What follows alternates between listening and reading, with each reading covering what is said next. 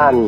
อ่าทั้งหมดเนี่ยสิบเอ็ดหลัง รวมร้านค้าด้วยอะไรด้วยเนี่ยสิบเอ็ดหลังไม่หมดเลย ไม่เหลือเลยเอ่อหลังสิบสองเนี่ยหลังที่สิบสองเนี่ยมันก็พังไปครึ่งนึงแต่ก็ยังพังไปไม่หมด ไม่เหลืออะไรเลย ถ้าทำใหม่ก็ต้องทำใหม่ทั้งหมดเลย ถูกต้องใช้เงินหลายล้านเนี่ย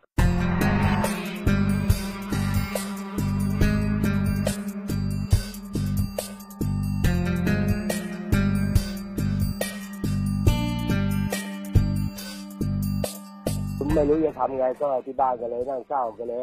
ว่าจะต้องหารายได้ที่มาเตรียมอรองรับลูกน้องด้วยอะไรด้วยก็เลยเปิดร้านข้าวแกงก็ก็ก็แกกๆไปเรื่อยๆเอ่อคนในแกงเขารู้กันลึกอยู่รู้กันอยู่แล้วว่าอ่อแล้วโกะเนี่ยทำกับข้าวอร่อยอ่าตอนนี้ก็เลยมีความคิดว่าเออไหนๆทำให้คนกรุงเทพกินกันแล้ว แล้วก็ทำคนต่างจังหวัดกินกันแล้วตอนนี้อยากจะทำอะไรที่ให้คนแกงกระจานกินบ้าง ก็เลยเออ ทำร้านข้าวแกงข้าวแกงมีน้ำบ้านนะโกะ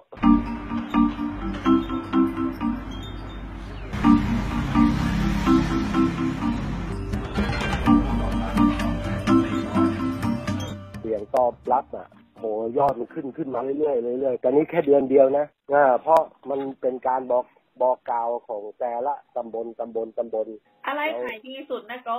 ทุกอย่างที่วางตู้ ทุกอย่างที่วางจะเกลี้ยงเลย ประมาณไม่เกินสองถึงสามชั่วโมงจะปาดหมดเลยต้องทำใหม่ ก็ทำขายทั้งวันอะ